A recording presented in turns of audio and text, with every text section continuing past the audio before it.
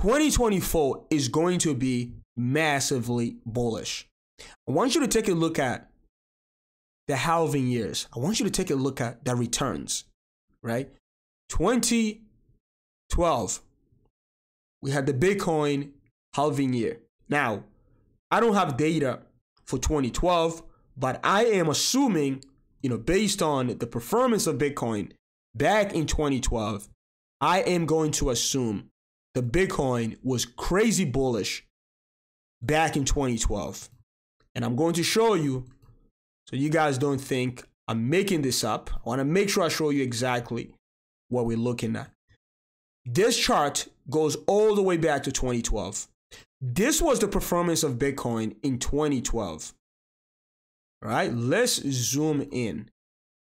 In 2012, you have month one right here. So January Bitcoin was bullish, February bullish.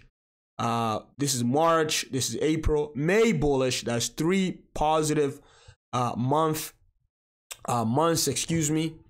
Uh, so one, two, three, four. May was bullish. That's four. June was bullish. That's five.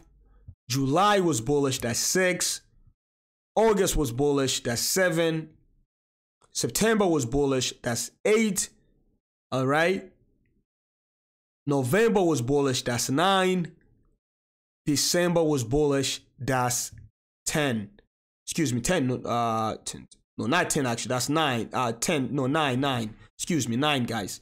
Unless I made a mistake somewhere. All right. So in 2012, three months out of 2012, one, two, three. Okay.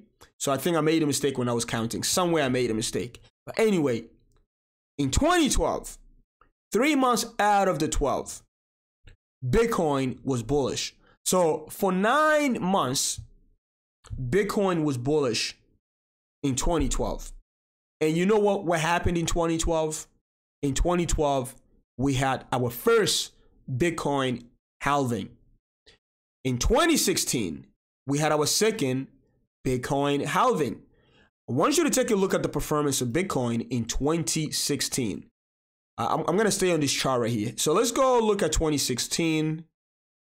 Uh, 2016 right here, January 2016. All right, this is January 2016 right here. All right, so January 2016, Bitcoin was red. But I want us to count how many green months in 2016. You have one right here, February. You have two, April. You have three, May. You have four, June. You have five, September. You have six, October. You have seven, November. And you have 10, uh, you have eight, December. All right. So in 2016, Bitcoin was bullish eight months out of the 12. Eight months out of the 12, Bitcoin was bullish. 2016 was the Bitcoin halving year. Right? And eight months out of the 12, Bitcoin was bullish. Now let's take a look at 2020. And remember, in 2020, we had a once in a lifetime pandemic. Something that crushed the price of Bitcoin, I believe, 50%, if not 60%, in a matter of hours. But let's take a look at the performance of Bitcoin in 2020. All right. In 2020, Bitcoin was bullish in January. So that's one. Bitcoin was bullish in April. That's two. Bitcoin was bullish in May. That's three. Bitcoin was bullish in July. That's four. Bitcoin was bullish in August. That's five. Bitcoin was bullish in October. That's six. Bitcoin was bullish in November. That's seven. Bitcoin was bullish in December. That is eight. In 2020, eight months out of the 12, Bitcoin was bullish. And again, what was 2020? 2020 for Bitcoin was the halving year, right? This was the halving year. Now, in 2020, eight months out of the out of the 12, Bitcoin was bullish. In 2016, eight months out of the 12, Bitcoin was bullish. In 2012, nine months out of the 12, Bitcoin was bullish. So, based on that data, 2024, the price of Bitcoin or Bitcoin is more likely to be bullish for eight to nine months out of the 12 months of 2024. Right? I want to make sure that you guys see what's what's happening right here and what 2024 is more likely to look like. Now, someone else may have you know different anal- uh, analysis. Someone else may have a different picture of what 2024 is going to look like. But if 2024 is anything unlike 2020, 2016, and 2012, then for the first time, you know, for the first time in the history of Bitcoin, we no longer in the cycles. Like we are no longer following the Bitcoin cycles or the crypto cycles or the Bitcoin halving narrative. If 2024 is unlike the previous three halving year years, all right?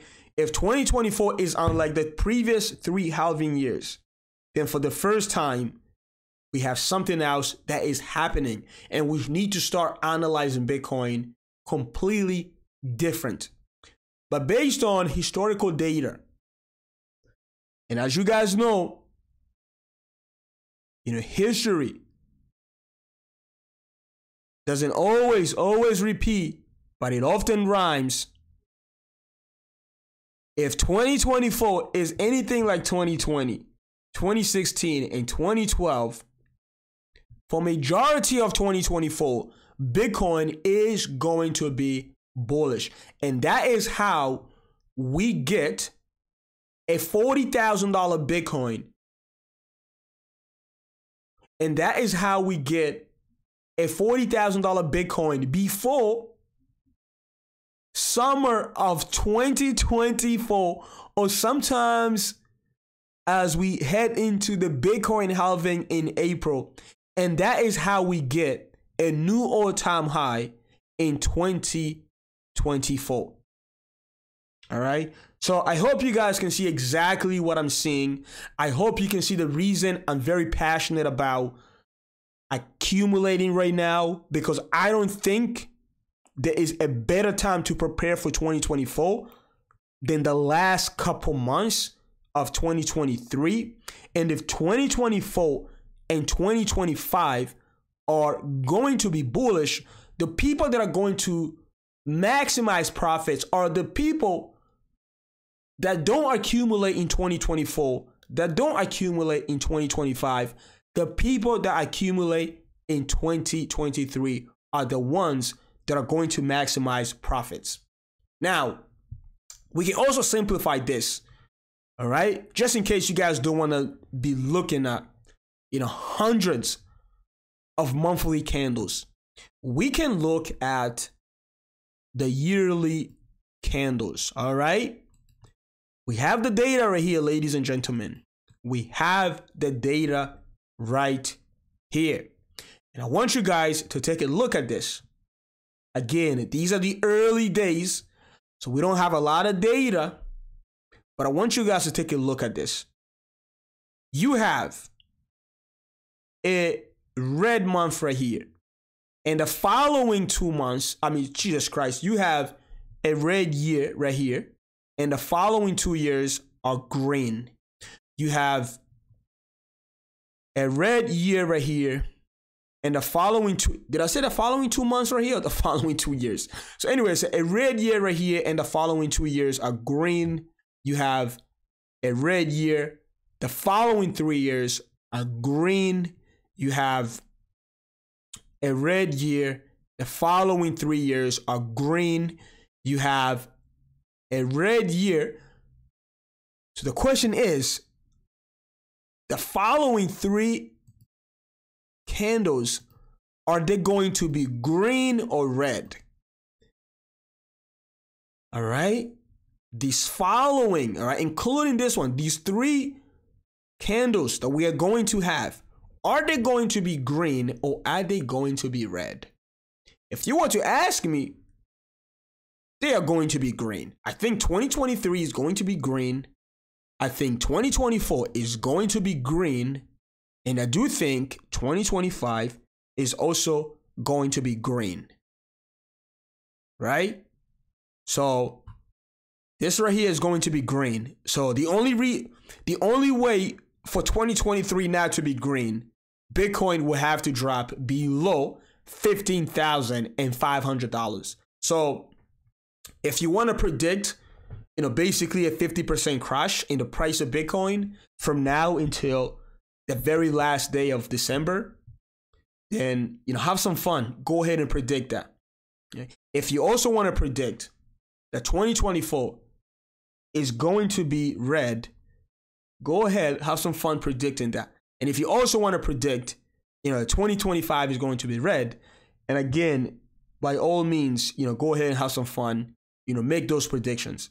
My predictions are that we are done with red yearly candles until until 2027 uh, excuse me 2026 until 2026 i think we are done with red yearly candles. And what that means if you want to simplify your investments if you want to make things simple straightforward and you don't have to stress about price up and down right you can invest based on yearly candles so i'll give you an example if you invest right now, you know, you're basically investing for 2024. You don't have to look at the chart of Bitcoin until December of 2024. You put money in right now Uh, at $29,000. If Bitcoin goes to 24,000, who cares?